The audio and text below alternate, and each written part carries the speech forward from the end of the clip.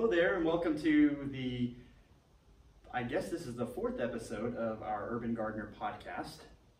We're so excited to bring with you some June tips for gardening here in um, central Oklahoma, uh, wherever you might find yourself, um, giving you some tips for the urban, urban context. So, uh, my name is Josh Campbell, and I'm here with my host Julia Laughlin, and we're so excited to talk with you again today about um, getting started with gardening here in the summer months. So if you're joining us on YouTube, welcome. Uh, we're so glad to have you. And if you're joining us here on a podcast platform, again, welcome. We're so glad to have you. Please do take time to um, to follow us. However, however you do that through your respective apps, so that we can continue to um, alert you to the episodes and things that we're providing for you. As always, we like to plug our fact sheet website. So some of the topics that we'll be talking about today, um, all of these resources will be available at facts.okstate.edu. Um, with that, I will say, Julia, we are here almost to the month of June. We're getting towards the end of May, and things have been hot. Real hot. Really hot, and things have been abnormally dry, I would say. Very dry. Um, and so, who knows really what's ahead in terms of where things will go over the course of the summer. Um, but we sure look like we're shaping up to have a really dry, really hot summer, which means um, we're going to think about watering a little bit when it comes to our lawns, our landscapes, and our vegetable gardens. And so, um, we're all in the thick. If we have a lawn area, whether it's a small lawn or a big lawn, we are all in the thick of um, starting to mow and all that comes along with having lawns. And so you can see here behind me, if you're joining us on YouTube, you can see here behind me the Bermuda Grass Lawn Management Calendar.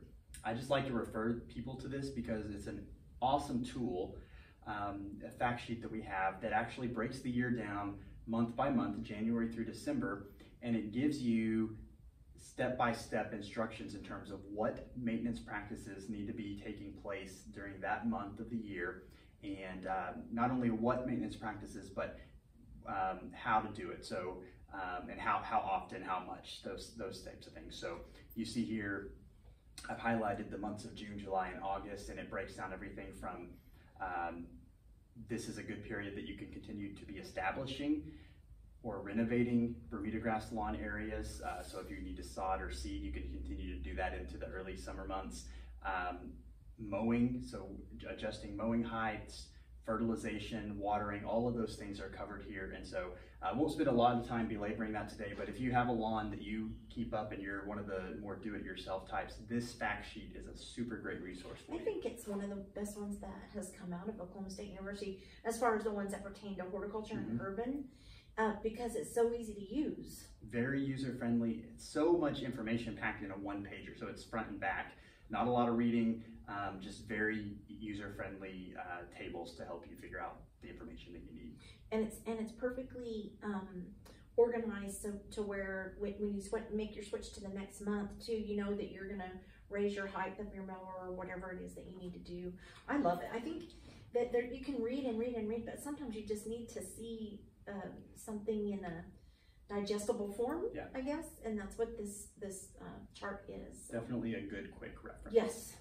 Um, so we'll, we'll move on now to the meat of what we hope to talk about today, and um, that is some of the potential pest concerns that you may encounter in a, uh, in a landscape setting. So Julia, we get people that call us or come into the office all the time with questions about these creepy things that they're seeing in their trees or hanging right. from from a, a, shrub. Tell us a little bit about these. Well, um, so what what I'm seeing right now, I just noticed it when um, I noticed it a couple of days ago. Here it is, what to the, to the 20th of you know coming up on the first of, of June, but the uh, third week in May, and I'm seeing already the signs of the first um, fall webworm generation. Mm-hmm. At first, when I saw them, they were in um, a shrub, a boxwood, and it's hard for me to explain how I saw them. They were in the corner of a boxwood.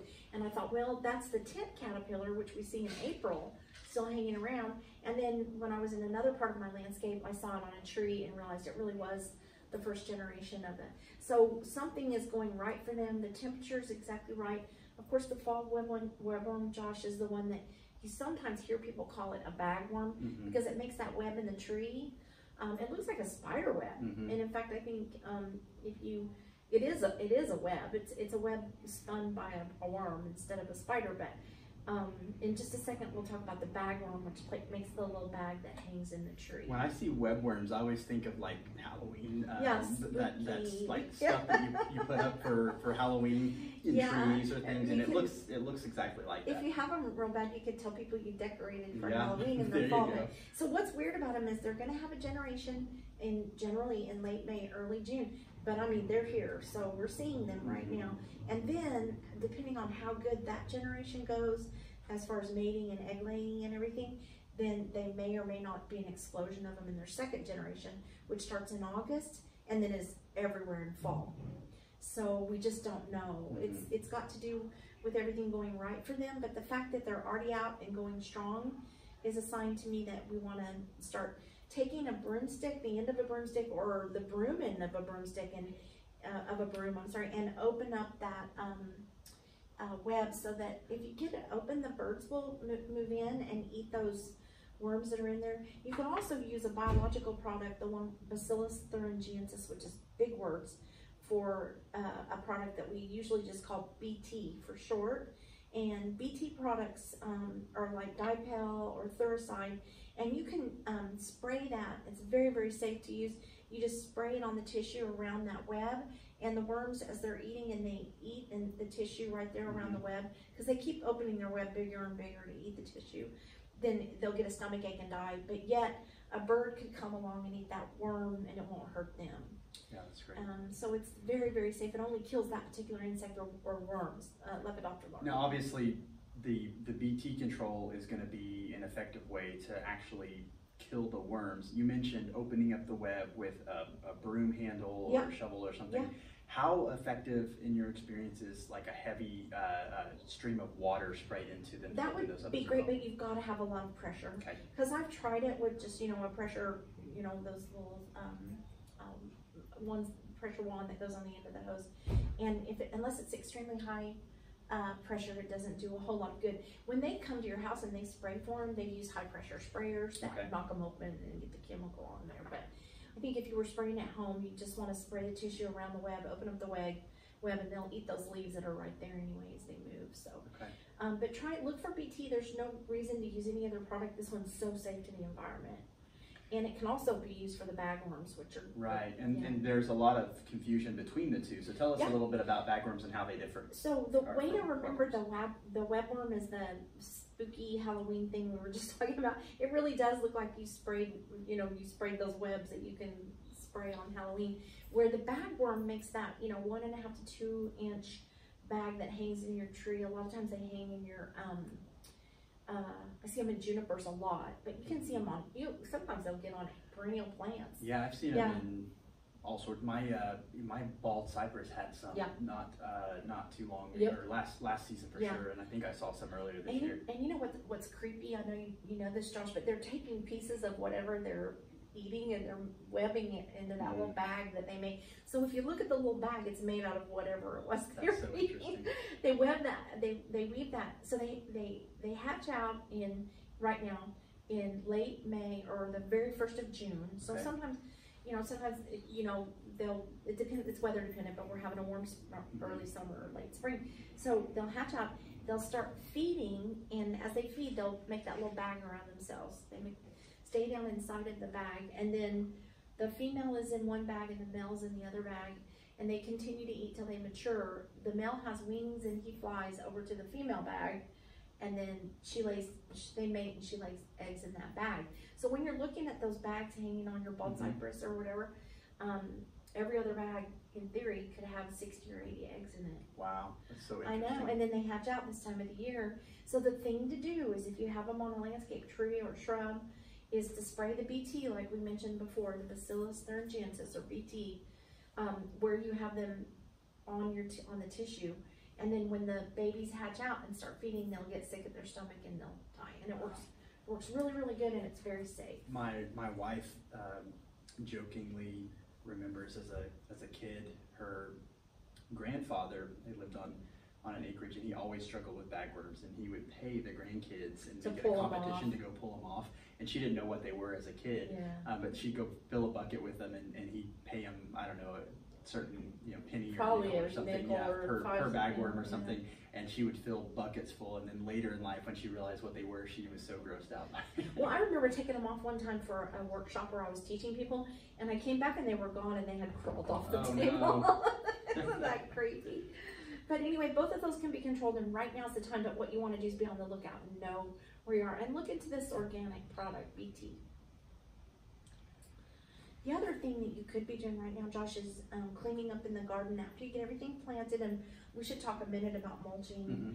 um, you know, get that mulch down and make everything, makes everything look completely done. That's what I'm gonna do this weekend is start mulching. especially with as warm as we've been, you know, sometimes um, our, like we said earlier, our springs can be a little bit wetter and even cooler. We've been especially uh, dry and had, I would say, above normal temperatures. And so really getting mulch down when we start getting into hot temperatures helps keep that, that soil right around the crown of the plants, uh, that, that heat um, regulated so that you don't have huge flux in temperature Right. and, uh, and, and really helps hold moisture that we need.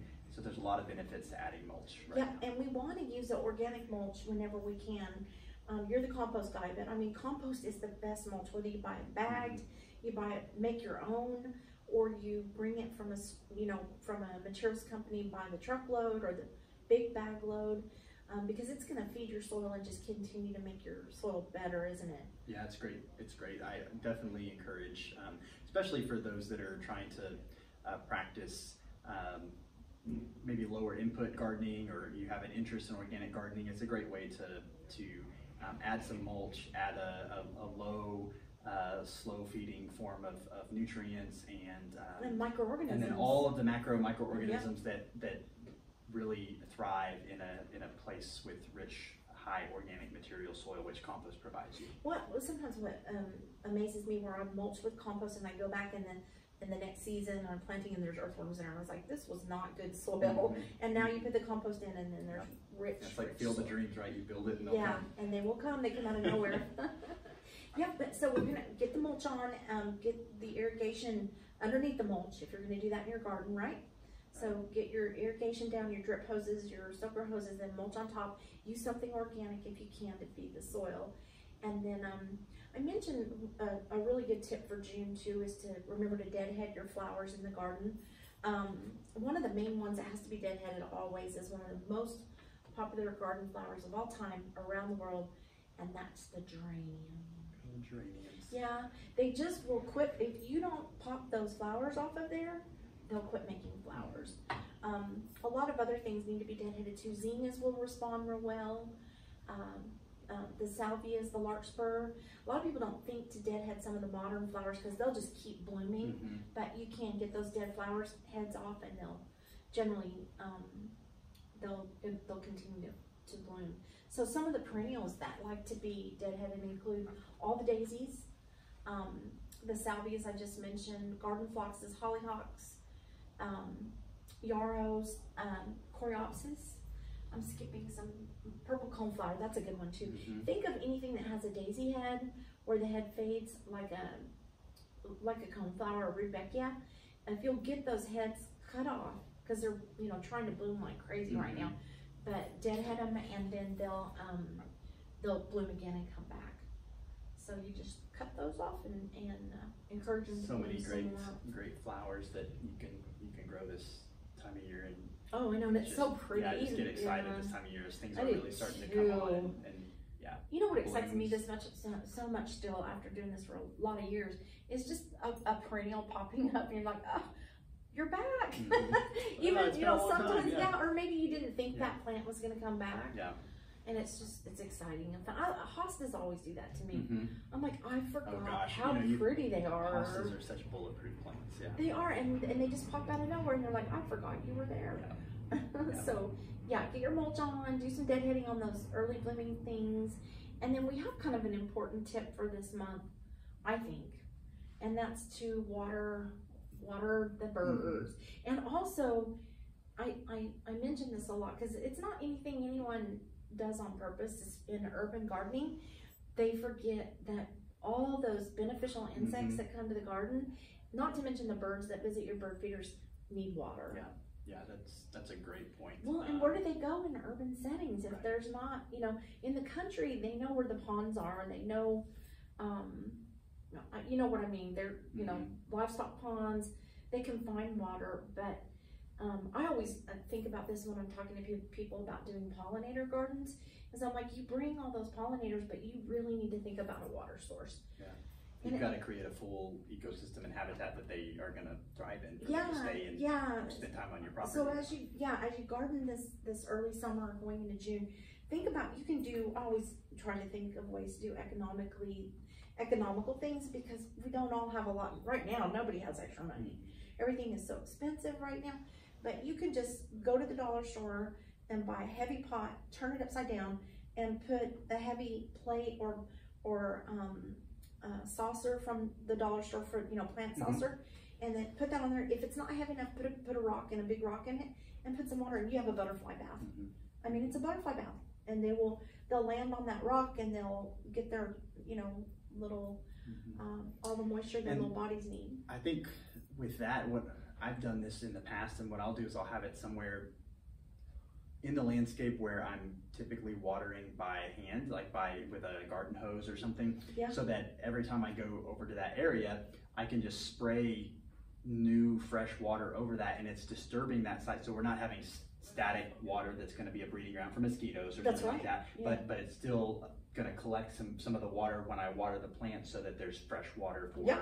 um, for Yeah. the beneficial insects that And we if you, in our if you are worried about mosquitoes, get yourself some mosquito dunkers. They're Mhm. sold everywhere. Um, you can break a little piece, put gloves on. It says to Mhm. put gloves on and break a little piece off and put it in your bird feeder. It tells you how to do it on the instructions. But um, fresh water is the big secret, though. Josh really is just keep Mhm. freshening it. They lay their mosquito lay their egg. Mosquitoes lay their eggs in stagnant water. So um, really, it's a it's a happy time to be outside. But remember to water your friends. That's a really good time.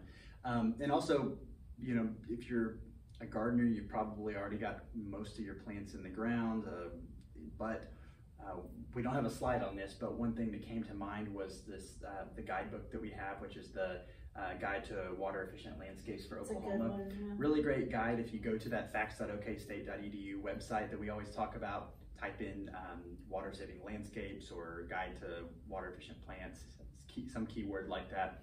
Uh, it will pop up and it is a just an awesome full color, nice photos um, that, that walk you through a lot of great plants, perennials, annuals, um, that are gonna, trees and shrubs I think are even included in there that are gonna be great for a central Oklahoma landscape and really some, we think about beauty and um, pollinator plants, there's a lot of those packed in there as well. And so if you're looking for some inspiration for maybe some uh, future plants to put in the landscape or you've got some last minute gardening you want to get done, you want to go see if you can find some stuff at, a, at the garden center to put in, um, that would be a great starting point for you when you're looking for some plants. Yeah, I love that. That's a really good publication.